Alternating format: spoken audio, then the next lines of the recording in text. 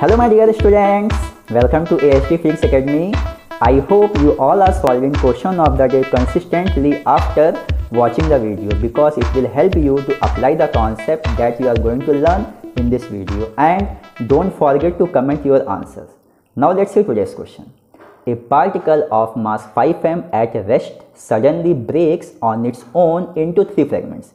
Two fragments of mass m each move along mutually perpendicular direction with speed v each. The energy released during the process each. So according to the question, I have taken one particle of mass 5m in a rest situation that means v equal to 0. Now this particle going to break into three fragments first two fragments move mutually perpendicular to each other. So let's take first fragment moves along x direction and second fragment moves along y direction.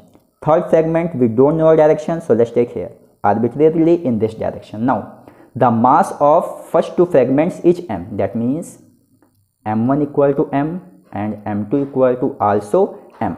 Again the speed of first two fragments is also v that means V1 equal to V and V2 equal to also V.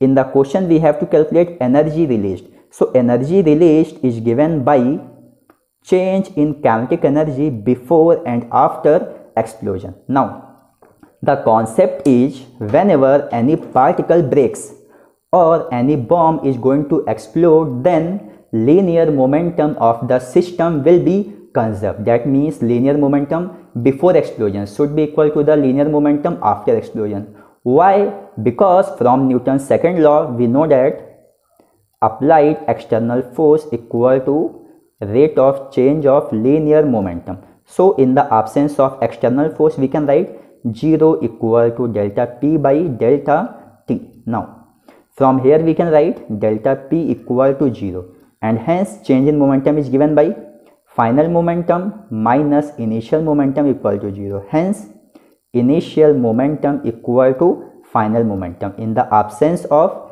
external force now this momentum is given by product of mass and velocity.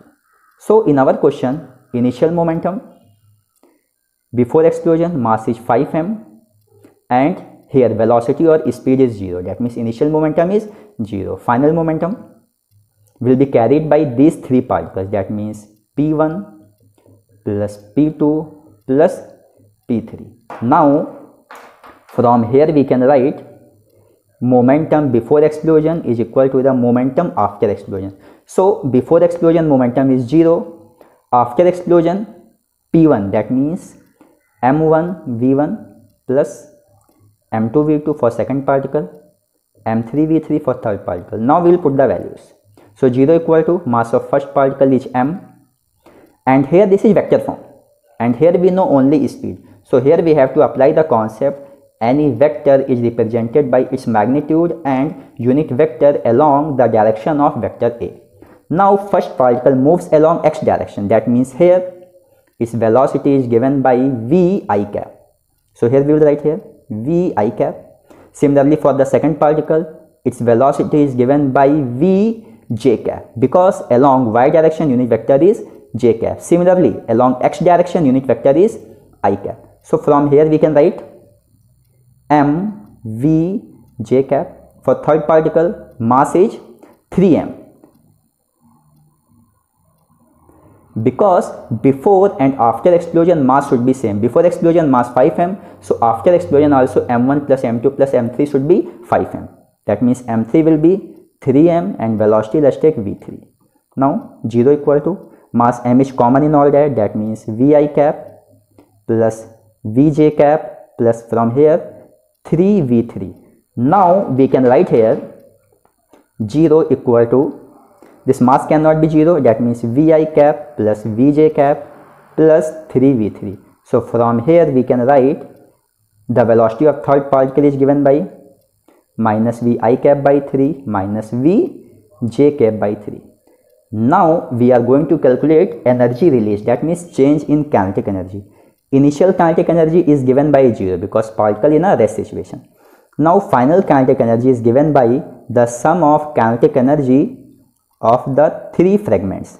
So K1 is given by half m1 v1 square. We know that kinetic energy is half m v square. This expression we will use. So half m1 m speed is v that means half mv square. For the second particle also same half mv square. For the third particle half mass is 3m and speed because energy is scalar quantity. So from here we have to calculate the speed. So whenever any vector is given, let's take vector A equal to AXI cap plus AY j cap. Then its magnitude is given by vector A equal to square root of AX square plus AY square. So from here we can write mod V3 equal to square root of coefficient of i cap minus v by three whole square coefficient of j cap minus v by three whole square so this will come root two v by three this value we will put here root two v by three whole square that means two v square by nine hence we can write here half m v square plus half m v square m v square plus this two this two will cancel out three three j nine that means this is going to be m v square by three that means 4 by 3 mv square.